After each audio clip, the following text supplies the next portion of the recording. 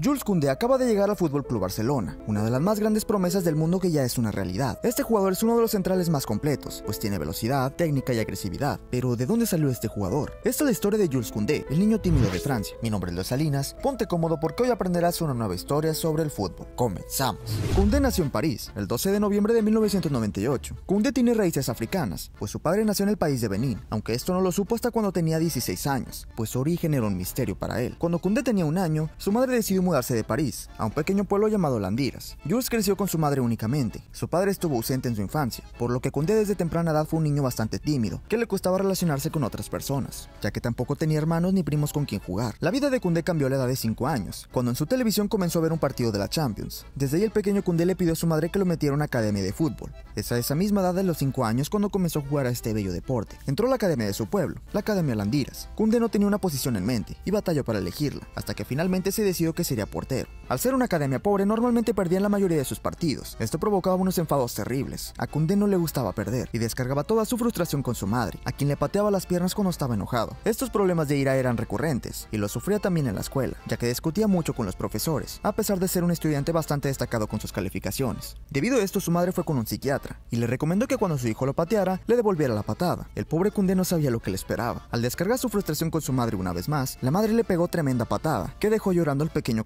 Desde ese día Jules jamás volvió a patear a su madre. Pasaron los años y Koundé dejó de ser portero. Su entrenador se dio cuenta que tenía un talento diferente y pensó que estaba muy desperdiciado en la portería, pues creían que para recibir menos goles tenían que tener a su mejor jugador de defensa central. Posteriormente Jules dejaría la escuela para dedicarse completamente al fútbol y decidió ir a una prueba sub-13 del equipo de Burdeos, la cual pasaría con gran éxito. A pesar de haber entrado al equipo, para Koundé no fue fácil, pues sufrió mucho en sus primeros meses en el equipo, ya que era una persona muy introvertida, pero poco a poco haría amigos en el club. El ser una persona callada era un defecto para él, ya que su entrenador a menudo le decía que tenía que abrirse más y hacerse amigo de sus compañeros. Koundé era uno de los mejores del equipo, pero el entrenador le dijo que aunque fuera bueno de nada servía, si no se comunicaba con sus compañeros dentro del campo. Para cambiar esto, el entrenador decidió darle la cinta de capitán, para que él dirigiera el equipo. Esto funcionó, pues desde ahí Koundé se convertiría en un líder. En poco tiempo las cosas mejoraron, ya que el joven francés mostró una mejora masiva en la comunicación y en el manejo de la agresión. De 26 partidos guió su equipo a ganar 24, incluido un título con la Juventud de Burdeos. Estas actuaciones lo llevaron para debutar con el segundo equipo del Burdeos, a la edad de 17 años, en donde siguió rindiendo al máximo nivel. Fueron tres temporadas para que se dieran cuenta que este jugador estaba para algo más. Es cuando a los 19 años lo llamaron para el primer equipo del Burdeos, y ahí es donde haría su debut en primera división, en la Ligue 1 de Francia, donde se enfrentaría a los gigantes del país. Y aquí iniciaría todo para Koundé, pues en tan solo su primera temporada se convertiría en un habitual en el once titular, jugando 18 partidos en liga y anotando dos goles. Pero aquí no acababa todo. Si la primera temporada de Koundé fue buena, la segunda la superaría con creces, pues se convertiría en el central titular del primer equipo. No soltó la central titular en ningún partido, disputó todos los encuentros de la liga se convertiría en la revelación de la liga francesa. El mundo volteaba a ver a este joven francés del Burdeos, quien ya impresionaba con su rapidez y su habilidad defensiva. Era un jugador muy completo. Ese y cuando el Sevilla se interesaría en él, pero como muchos clubes estaban interesados en Koundé, el Sevilla tuvo que desembolsar 25 millones de euros para su fichaje. Después de eso, Jules Koundé se convertiría en el fichaje más caro en la historia del Sevilla. Su primera temporada en el Sevilla sería muy buena. Este jugador llegaba con muchas expectativas, y Koundé no decepcionaría, pues se convertiría en una pieza clave en el equipo. Con Lopetegui Koundé mejoraría bastante, pues al tener un técnico con amplias preferencias del juego de posición, hizo que Koundé mejorara mucho en el aspecto técnico, convirtiéndose en uno de los mejores centrales sacando el balón desde atrás. Su compañero en la saga defensiva fue el brasileño Diego Carlos, con quien haría una dupla mortal, convirtiéndose en una de las mejores parejas de centrales del mundo. Toda Europa envidiaba al Sevilla. Muchos equipos grandes deseaban tener una dupla de ese calibre. Fue tanto su éxito que llegaron a ganar la Europa League frente al Inter de Milán, el primer gran logro en la carrera de Koundé, el cual estaba viviendo uno de los mejores días de su vida. Koundé demostraba tanto talento que el Chelsea se interesaría en él y constantemente buscaban ficharlo, pero el Sevilla tenía el objetivo de competir en la liga, ya que por primera vez en mucho tiempo se lograban emparejar con el Barça y el Real Madrid, al menos en las puntuaciones. Koundé fue clave para que el Sevilla obtuviera 77 puntos en la liga, la cifra más alta en la historia del club. Ya era uno de los mejores centrales del mundo. Koundé lo tenía todo, un jugador veloz, con técnica individual, cambio de ritmo, con muy buena anticipación y mucha agresividad, y eso te lo puede decir el mismo Jordi Alba. El punto débil de Koundé es la estatura, pero eso no le impidió ser uno de los jugadores con mayor porcentaje de duelos aéreos ganados. El francés era muy completo. Xavi comenzaba a observarlo de cerca. Cada que tenía oportunidad se daba cuenta de la calidad que tenía para sacar el balón desde atrás, de su agresividad y su anticipación. El entrenador español sabía que este jugador era el ideal para ser el central del Barça. En el mercado de fichajes, el Chelsea y el Barça disputaron una lucha por obtener el fichaje de Koundé. El Chelsea tenía la ventaja luego de estar tres años intentando ficharlo. A punto de decidir irse con el Chelsea, Koundé recibió una llamada de Xavi Hernández. El discurso lo convenció. Xavi le prometió que lo haría el mejor central del mundo y que sería una pieza clave en un equipo joven y con veteranos de experiencia. El francés quedó ilusionado con sus palabras y se dio cuenta que veían el fútbol de la misma manera. El 29 de julio sería oficial su fichaje con el Barça por la cantidad de 50 millones más 5 variables,